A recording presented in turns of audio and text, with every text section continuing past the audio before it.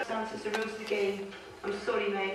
Point goes to girls and control goes to girls. Do you know what your problem is, Gav? Just be... What's that? Stop thinking force.